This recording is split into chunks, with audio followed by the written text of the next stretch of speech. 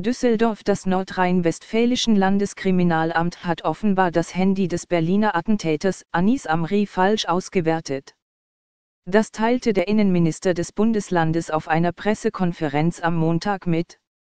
Mehrere Fotos, die den Täter mit einer Schusswaffe zeigen wurden von den LKA-Ermittlern demnach schlicht übersehen. Nach einem Hinweis aus Berlin wurde die Panne erst kürzlich entdeckt, teilte der Innenminister Nordrhein-Westfalens, Herbert Reul, CDU, am Montag mit.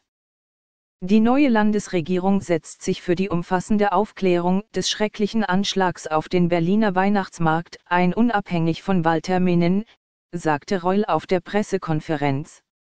Anis Amri tötete am 19. Dezember 2016 zwölf Menschen als er mit einem Lastwagen in den Weihnachtsmarkt am Berliner Breitscheidplatz raste.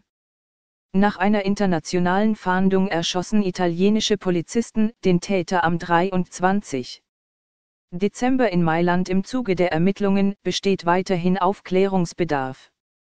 Mehrere grobe Behördenfehler und eine unzureichende Überwachung verhinderten die Abschiebung am Riss, der 2016 erstmals vom Landeskriminalamt in NRW als Gefährder eingestuft wurde. Es hätte eine Chance gegeben, ihn zumindest vorübergehend in Haft zu nehmen, teilte der frühere Bundesanwalt Bruno Joost im Oktober in einem Anschlussbericht über die Ermittlungsarbeiten von Polizei und anderen beteiligten Behörden mit. Justs Untersuchungen konzentrierten sich auf die Arbeit der Berliner Behörden. Waffenfoto durchs Suchraster gefallen am 18.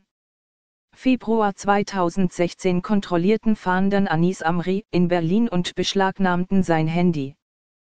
Auf dem Gerät befanden sich laut dem NRW-Innenministerium insgesamt über 12.000 Mediendateien. Darunter auch ein entscheidendes Foto, das ihn dabei zeigt, wie er eine Schusswaffe in die Kamera hält.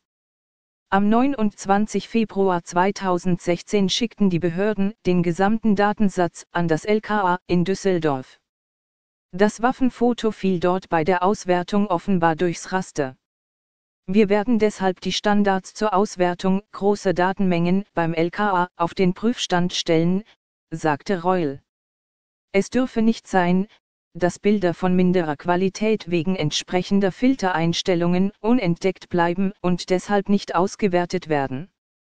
Für mich ist klar, dass Datenauswertung gerade in Terrorverfahren bedeutet, alle vorhandenen Daten werden ausgewertet, betonte der Minister.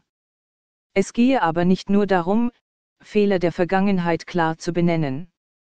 Wenn es neuere, intelligentere Software gibt, die dabei helfen kann, solche Fehler in Zukunft zu vermeiden, dann, her damit, so Reul. Von RND,